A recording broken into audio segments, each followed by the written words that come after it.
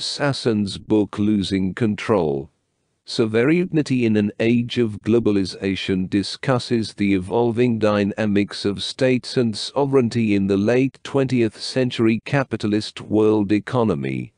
It addresses the question of whether states are losing control in the era of globalization.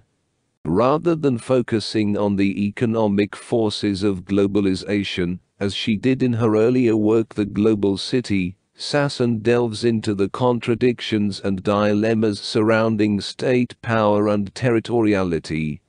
Contrary to the hard-line globalist perspective that predicts the decline of states in the face of rising global capital, Sassen embraces a nuanced view. She agrees with proponents of strong globalization, who argue that the 17th century interstate system is undergoing a profound transformation. However, she refuses to dismiss the state as a significant player in the world economy, emphasizing the complex relationship between states and global capital. Sassen introduces a new geography of power in the world economy with three key dimensions. Firstly, national territoriality undergoes a transformation through the dispersal of factories, offices, service outlets, and markets. Secondly, an international legal regime emerges, partially beyond the control of nation states, as they relinquish some regulatory functions. This results in the formation of an international private regulatory system, exemplified by the rise of international commercial arbitration and the global influence of bond rating agencies like Moody's and Standard & Poor. The third dimension revolves around the growing significance of economic space, where instantaneous transmission and large-scale global currency trading undermine states' regulatory capabilities. The evolving geography of power signals not the demise of the state, but rather the end of a specific historical manifestation of the state. Diverse forms of sovereignty are emerging, some rooted in states and others in global markets and international agreements. Saskia Sassen argues that the state has not passively succumbed to globalization, instead, it has actively propelled the globalizing process. Furthermore, Sassen asserts that global and national spaces are not mutually exclusive. Many strategic spaces for global processes are often within national boundaries. The mechanisms for implementing the new legal forms required for globalization are frequently embedded in state institutions. The infrastructure facilitating the global mobility of capital is situated in various national territories. In essence, globalization has partially shifted state sovereignty to transnational organizations, like the World Trade Organization, and partly denationalized national territory through a fragmented and ascendant new legal regime.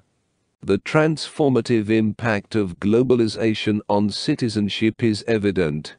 Citizenship, once shaped by the French Revolution, is now evolving into corporation-based economic citizenship and an international human rights regime.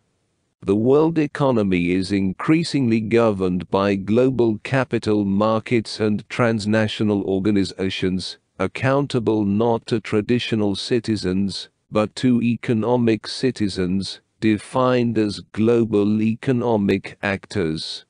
However, the trend toward replacing national with global economic citizenship faces opposition. Sassen identifies three countervailing tendencies. First, there is the potential activation of various international agreements to democratize transnational organizations like the World Trade Organization. Second, national states may advocate for equity and accountability mechanisms among global economic actors through multilateral agreements. Third, social movements may actively resist the erosion of citizenship. In the concluding discussion of losing control, the focus shifts to the intricate issue of immigration. As economic globalization denationalizes national economies, there is a simultaneous trend of immigration renationalizing politics. This paradoxical relationship constitutes a fundamental contradiction in state-capital relations within the New Order. Capital pursues the deregulation of capital flows while simultaneously seeking to regulate the movement of labor. Immigration policy, therefore, serves as a crucial strategic research site that highlights the tension between the concept of sovereignty as control over entry and the challenges states face in policy making. Two external forces, somewhat beyond the control of states, play a significant role in shaping immigration policy. Firstly, globalization tends to increase immigration flows rather than diminish them. For instance, disruptions in peripheral economies due to factors like war in El Salvador or neoliberal economic policies in Mexico have led to a substantial rise in migrants heading to the US. Paradoxically, the imperial states that championed globalization now grapple with the challenge of restricting the entry of foreign workers whose lives have been adversely affected by globalization. Secondly, the emergent international human rights regime poses a constraint on state immigration policy. Since human rights are not contingent on nationality, they have the potential to contest state sovereignty and diminish the significance of citizenship. Sassen's arguments in losing control are noteworthy. First, states have not simply declined, rather, they have actively played a role in driving globalization, thereby creating social forces that transform both the modern state and the interstate system. Second, globalization is not confined to a realm separate from national space, instead, it materializes within national borders, deeply intertwining the global and national economies.